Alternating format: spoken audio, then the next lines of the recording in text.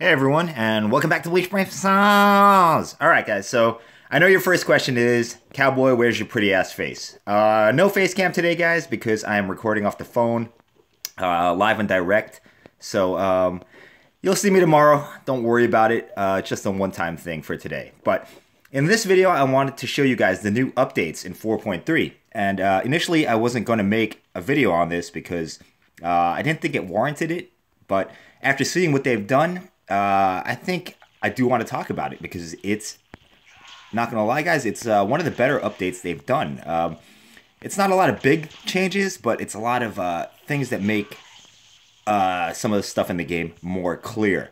So um, let's see what they've done, guys. Um, the first update they've done that we'll show you here is they've added a um, a, uh, a little text whenever you get a critical strike, and it'll say critical.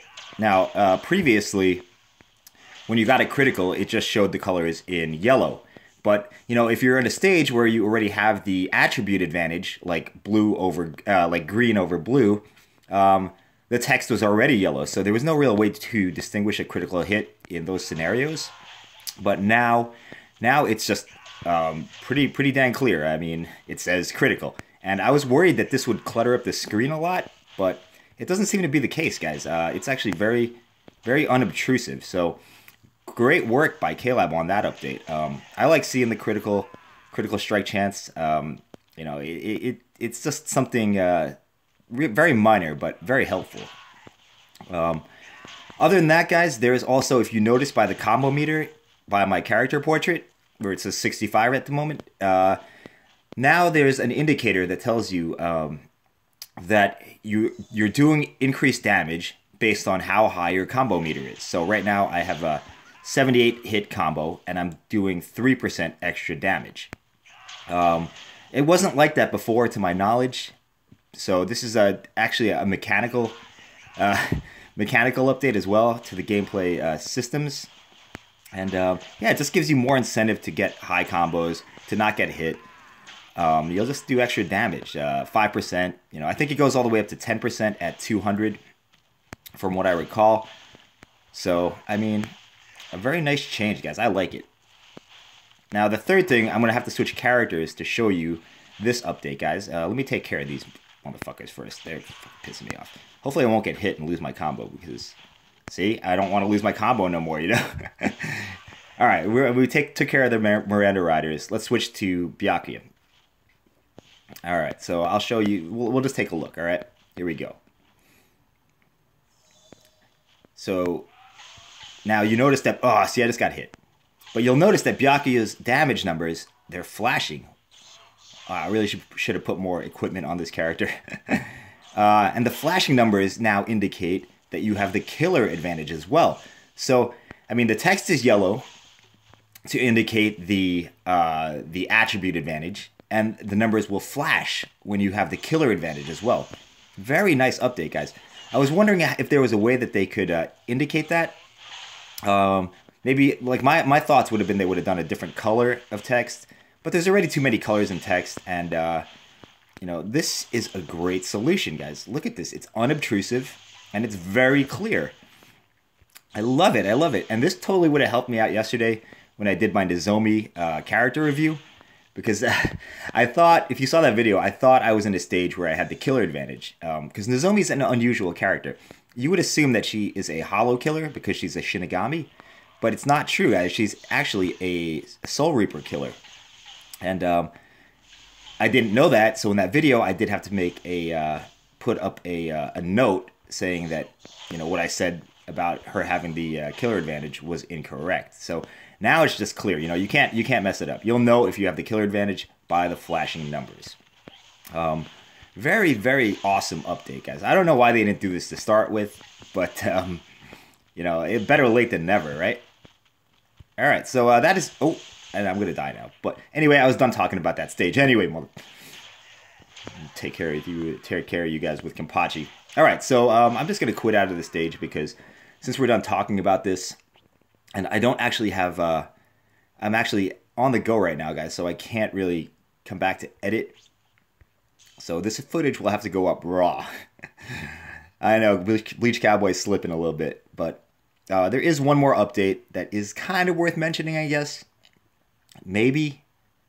Um, it's an update to the PvP, and what they've added, guys, is the ability to um, make your specials uh, usable automatically. So um, I- I'm not explaining that properly, but um, we'll just do a quick match to show you uh, what I mean. Well, I'll show you where the setting is first of all. The setting is here in the options menu. And uh, right under gameplay, you will see at the bottom there's auto special moves in battles. And if you turn that on, which it is by default apparently, which uh, make sure you turn that off if you don't want that, guys. If you like to use your specials, like pick the character which uses the special, uh, make sure you turn that off. Um, I guess one other thing I wanted to just mention as a side note: uh, skip special move effects is there as well. Personally, I think this this option should just not even be an option. It should it should just automatically be automatically be on for everyone. You know, uh, there's no need to have this like be a choice, in my opinion. But anyway, don't want to get sidetracked. Let's go into a versus battle, and uh, we'll just I don't think my teams are properly set up for PvP, so uh, we'll just try to we'll just try to get a uh, a match. Yeah, they're definitely not. Uh, but we'll just try to get a match where uh, we can see this in action. And I'll just pick someone real easy if that is even an option. Um, preferably a red a red enemy. So um, you know, I don't die before I get a chance to use the special. All right, here's a red enemy. No, I mean a blue enemy. Whoa, whoa, whoa, whoa, whoa, cowboy, whoa. Whoo! Uh, a blue enemy, a Don guy is good. All right. So hopefully I'll survive until the special comes out, and hopefully I'll get the special. So, but in case I don't, guys, I'll just explain what's going to happen. So the special, since I have this uh, this option toggled on, if I get the soul bomb, I don't have to do anything. The computer will automatically use the special ability of the first character in my lineup. So that first character is Kenpachi in this case, which is not ideal, and it doesn't look like I'm going to survive to get the special. Um, no, but Toshiro might. Toshiro might if he gets it, and he didn't get it. So, oh, did I? That's me, right? Yeah. So right there, you saw that my character automatically used the special um, which might actually kind of work out because that's that freeze cancer, guys. That's that free strategy cancer. Uh, I had no business winning that match, but um, yeah. So it'll use the the the, the special of the the uh, character you have in slot one automatically, or uh, if that character is dead, it'll go on to slot two, and if that character is dead, it'll go on to slot three. Now, I don't recommend that you turn this option on if uh, if the order of your characters is important to your strategy. So for my strategy personally, I use one colored character in the first slot and two neutral characters in the second and third slots. So this doesn't really help me out because because it's it's important. The order of my team is important to my strategy. Now, if you just run a red, green, blue team and the uh, and you're running the attribute strategy, then the order doesn't really matter. Just put the character I'm stuttering. Just put the character that you want to use their special in the first slot uh, as the leader. Um, and then your second choice on the second slot and your third choice in the third slot. And you should be all right. But for me, it wouldn't work because, um, you know, if Kenpachi uses the special, then I've pretty much wasted uh, the Soul Bomb. You know, I want Toshiro to use it. And he won't if I have this option toggled on. Um, all right, guys. So I know I uh, probably was a bit long winded about my explanation of the uh, 4.3 update. Um, there is one final update to note, guys, and it just has to do with the uh, accessory inventory. And um, if we take a look at my accessory inventory right now, uh, it says I have 353 out of 360. And um, if I'm, I haven't actually looked at this yet, but it should no longer give me the option to use powders.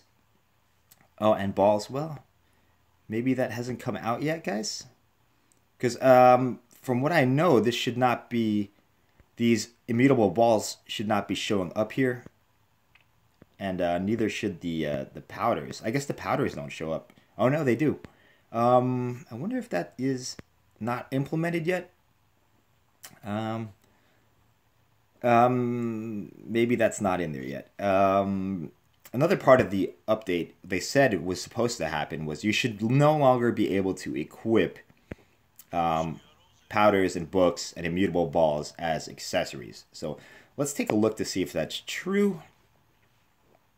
Maybe I'm just uh, not looking at the right thing. But here we go. So if I sort, I'll take a look at my black accessories. It's already, oh, oh, it's already on there. And yeah, uh, yep, it's there. We go. It says this item cannot be equipped. So that's kind of nice, guys. Um, I kind of thought that these things right here would not um, take up inventory slots anymore, but apparently that's not the case. Uh, they still do occupy inventory slots. Uh, if we look at the red, let's see if the powder is, it's the same deal. Um, if I can scroll down to it quicker. There we go. So the powders can no longer be equipped either. Um, it's kind of nice. Uh, it you know it doesn't make a huge difference in my life, but um, I feel like that's the way it should be. So Another very nice change. Um, all these changes are kind of minor, guys, but they're very nice quality of life things. And I think they will actually do a lot to help beginners out. Uh, if you're new to the game, um, you'll be able to see, you know, killer advantages and um, you'll know what accessories you can't equip. And um, maybe PvP will be easier as well because the the uh, characters will automatically do their specials. So overall, a home run, guys. I love this patch.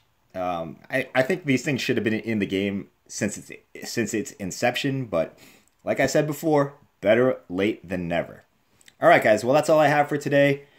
Thanks for watching. Um, sorry about the no face cam. I, I don't know if that's important to anyone, but I think for this type of video, it's definitely all right.